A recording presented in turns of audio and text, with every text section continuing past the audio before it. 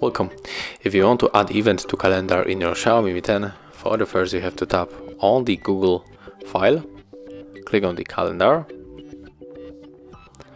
click on this arrow two times, we got it, and right now oh, there's auto sync uh, off, there is notification, so tap on the dismiss, and click on this marker, and right now we have to add the title, and also we can set it up other things like location, notifications, descriptions and any others. If you do everything, you just click on the save and here it is, our event.